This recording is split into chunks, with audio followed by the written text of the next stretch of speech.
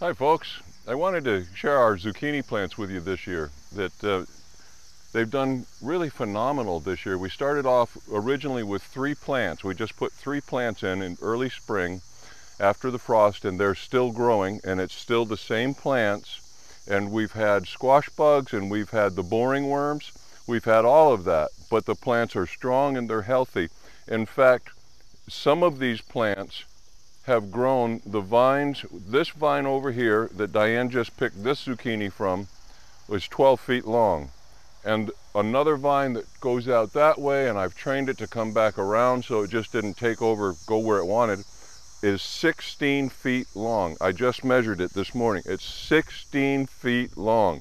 That's crazy. There are two reasons why we're having that type of growth on these plants. One reason is because I've pruned them. And when you prune something, it tends to grow. So it does, uh, it does well. And the other reason is because this soil is so nutrient rich that the plants have grown like crazy. They've grown more this year than they ever have. There hasn't been a lot of water for most of the summer. And then all of a sudden it started to rain and we got quite a lot of rain. But uh, we've gotten zucchinis all the way through. And like I said, we had squash bugs, so I went through and found, we, we went through often and found the squash bug eggs and pulled them off or squished them and crushed them or, and uh, killed any squash bugs that we could find. But the boring worms, we've had boring worms and uh, if come take a look here, you can see the trunks. You can see these trunks. Let's take a look in here at this trunk. That, that trunk has been just decimated by the boring worm.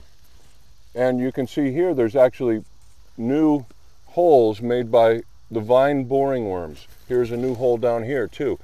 If I were to pull up on this vine, I'm sure I would pull it right out with no effort at all. And this plant over here behind Diane this one just a couple of days ago was all but dead. It was all laying down, just lifeless, like deflated. And um, I, I uh, just left it be. And I'm sure what happened is a boring worm got in, or several of them got in, and just uh, really hit it hard. And I left it be, and after a few days, it perked right back up again so I pruned off all the, the leaves that were not productive for it. And now look at it. It has fresh, good green leaves, strong leaves. It has new blossom on it. And uh, you won't get that without healthy soil. The soil is so healthy that the plant is healthy enough to, to survive the, um, the boring worms, which I'm just thrilled about. Now, for the pruning of these vines, the vine grows from the end out and it it starts, it comes around here, it starts behind me somewhere and it has grown around and the end is right here. And so what you can do, you see the fruit here. Here's a zucchini growing. And you want to leave the, the leaves that are near the zucchini, you want to leave them alone. And uh, what I usually do is stay a few inches to a foot back from any zucchini that are growing. But these guys back here, these leaves, I just cut them off like that. Or you can use pruners and cut them off. They cut so easily, I just like to use my utility knife. And then carefully pull them out. And I, again, what I like to do is just turn the leaves over and look for any squash bugs. And if there are, I'll kill them because uh, we don't like having those guys having free rein. And set them aside, but then you, you just keep you just keep trimming them off. And you see the stem is hollow, and if you uh, you get back near the uh, the vine, it won't be hollow, and that's not a bad place to cut it there. So just keep going along.